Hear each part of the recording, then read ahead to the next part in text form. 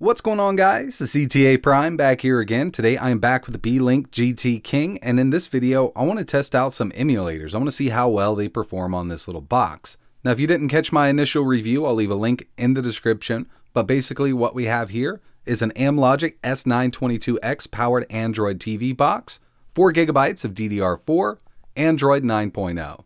The box is a bit expensive at $115 and hopefully the price does drop down on these because this chip is fairly new and I believe that's what's keeping the price so high. The Amlogic S922X really isn't cheap for manufacturers, but over time, the price will come down. The first emulator I want to test here is Redream. This is a Dreamcast emulator. As making this video, it is in beta, but it should be released to the public within the next week or so.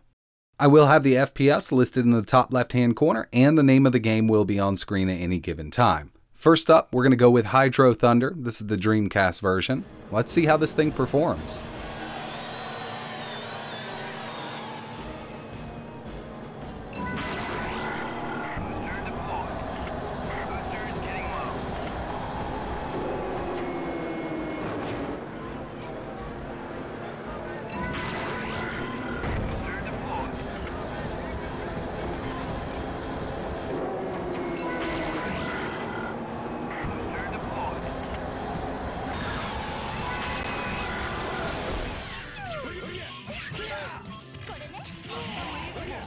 Next up, we have Power Stone 2. So far, so good with the Redream emulator on this little box. Now, I know the FPS is going crazy up there, but I haven't really noticed any major slowdowns that'll affect gaming performance.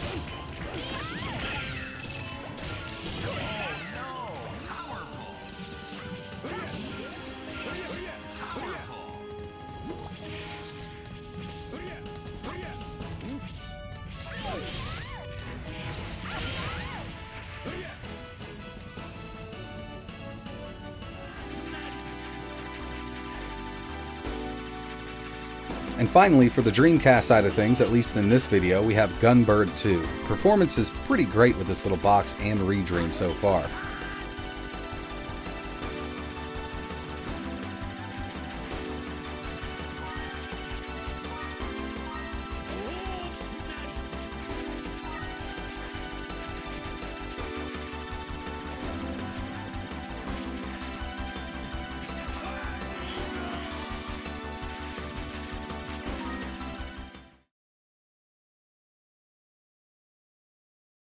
Next up, we have some PSP emulation using PPSSPP from the Google Play Store.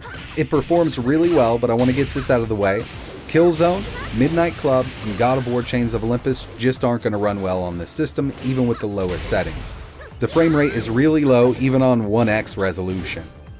But there's still a ton of PSP games that are going to work fine on this box, even at 3x resolution, which I have it set here.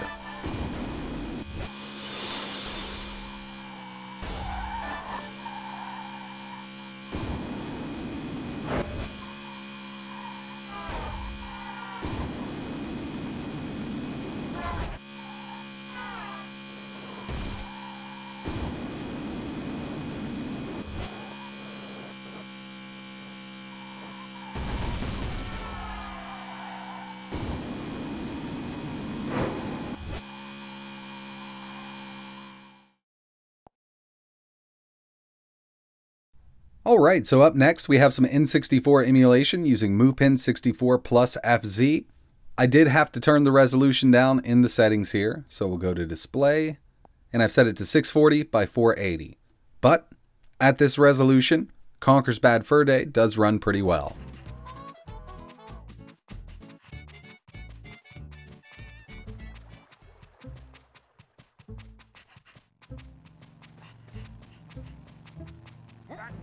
Come here, shorty.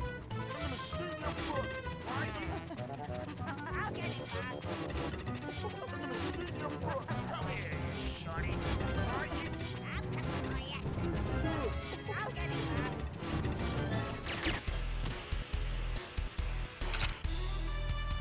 GoldenEye 007 is just one of those problematic games. I've never really been able to get 30 FPS out of it on an ARM chip, but here we're getting a decent frame rate and it feels great.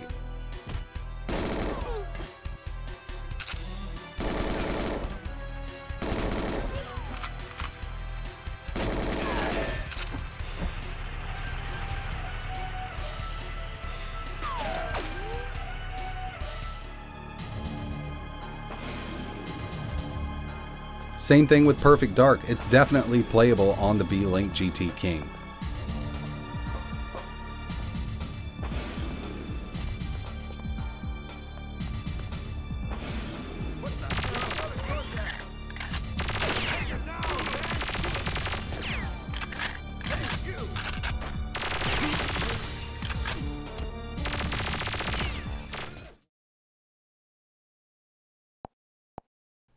I was expecting this chip to really struggle with Sega Saturn emulation, but to my surprise, it actually works really good using Yaba Sanshiro. Now, this emulator isn't the most accurate Saturn emulator, but it will get you by until you can get a more powerful device.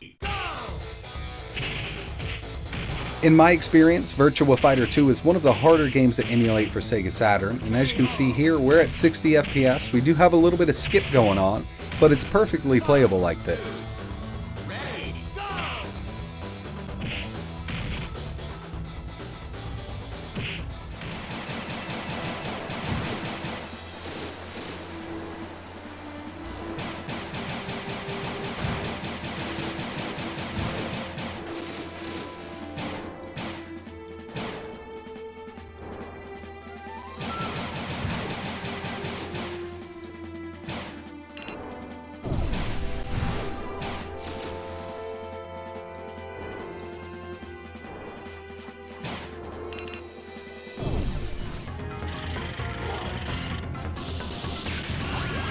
Moving over to some Naomi and Atomiswave emulation using RetroArch and the Reicast core. Seems to run pretty well with the 2D games and Atomiswave and Naomi, but when we move over to the 3D stuff, does struggle a little bit.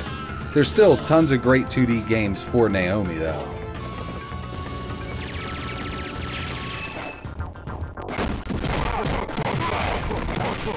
This is Demolish Fist. We should be at 60 FPS, but we're sitting around 54, and I have seen it go as low as 50 FPS.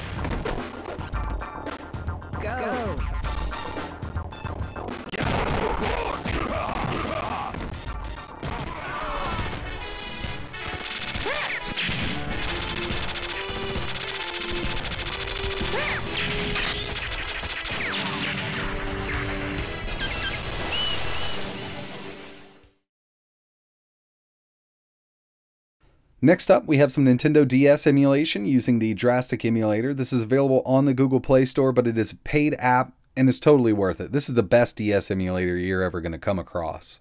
We're going to go with uh, Super Mario 64 for the DS. Got the FPS listed in the top left hand corner, running at full speed, I've tested this emulator on a lot of different devices and it performs well on most of them, so you're not going to have any trouble playing Nintendo DS games on the Beelink GT King.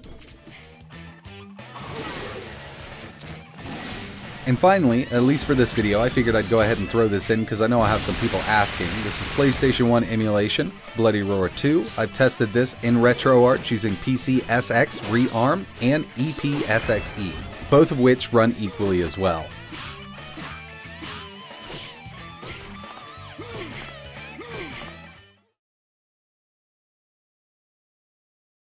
So that's pretty much it for this video, guys. I really appreciate you watching. It's actually a decent little box for emulation, but I still think it's overpriced. These are going for 115 to $130, depending on where you buy them. And if you just put out a little bit more money, you can get a much better Android box that's going to outperform this in 4K video playback, connectivity, and emulation. This Android box does share the same specs as the Odroid N2, but with this we do get internal storage and we also get Wi-Fi and Bluetooth built in. If you buy an N2 for a bit cheaper, you're going to have to add an SD card or an eMMC module, plus Bluetooth and Wi-Fi. It's still pretty early for the Amlogic S922X CPU that's in this box and the Odroid N2. Over time, performance will get better, but don't expect it to double performance just from some software optimizations, 64-bit operating system, and Vulkan support. It'll definitely get better over time, but it'll never match the NVIDIA Shield Android TV's performance. If you're interested in learning more about this little Android box, I will leave links in the description. Plus, I have my full review video. I tested out Android with some 4K video playback, native Android gaming, and ran a bunch of benchmarks on it, so definitely go check that video out. It'd be really cool if you could hit that like button, maybe subscribe to the channel, and if there's anything else you want to see running on the Beelink GT King, let me know in the comments below. But like always, thanks for watching.